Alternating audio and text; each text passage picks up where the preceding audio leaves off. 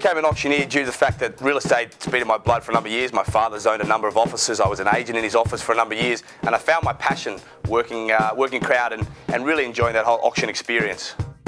Wonderful opportunity here today, ladies and gentlemen. Please don't miss out. Matthew Harvey's my name. I do proudly represent the office of Simon Mandeli First National. Very reasonable here today, so we're looking to sell. I feel that I've got a great ability to relate to the crowd. I take a very jovial approach. I understand that it's a very stressful time for, uh, for both buyers and sellers, and I, I like to make them all feel comfortable on the day. He's got a handsome face, you know. Everybody is hypothetically, that will be the price. I'm being very optimistic, aren't I? Very optimistic. Didn't want to give you too much of a figure.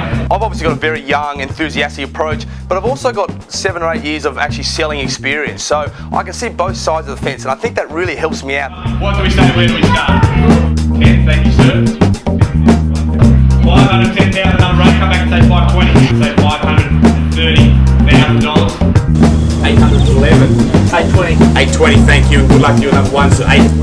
Thank you. 825. I'm happy to talk with a vendor before the auction, during the auction, and even after the auction, because at the end of the day, my goal is to get the best possible price for my agent for his client.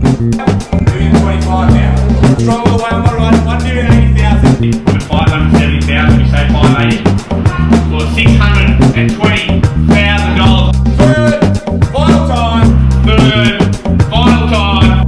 Salt, salt you, salt you. Congratulations. Look, what makes Matt a really good auctioneer is he's got the youth and enthusiasm and the passion to get the deal done. My vendors, when they meet Matt, love him. They can all relate what they should do. He'll give them a recommendation and guide them through the process on, you know, the big day, the auction day.